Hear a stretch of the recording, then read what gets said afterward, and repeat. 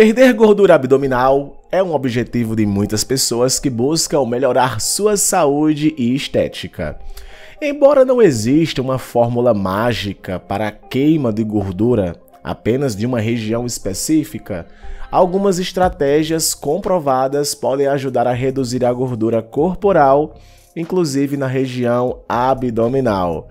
Neste vídeo, conheça alguma destas dicas. 1. Adote uma alimentação equilibrada. Uma alimentação balanceada é essencial para reduzir a gordura abdominal. Evite o consumo de alimentos ultraprocessados, ricos em açúcar e gordura trans, que são importantes para o acúmulo de gordura na barriga. 2. Incluir proteínas na dieta. As proteínas são importantes para manter a massa muscular o que contribui para a queima de gordura.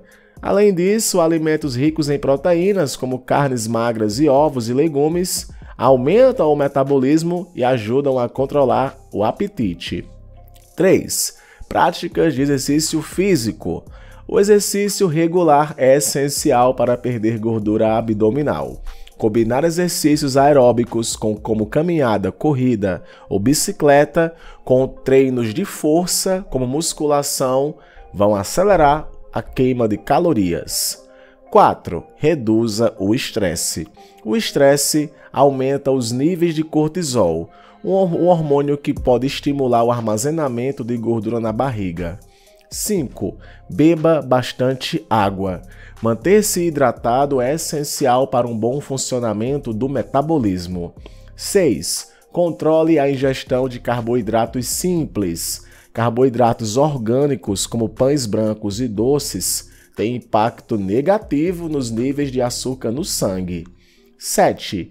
Evite exageros no álcool.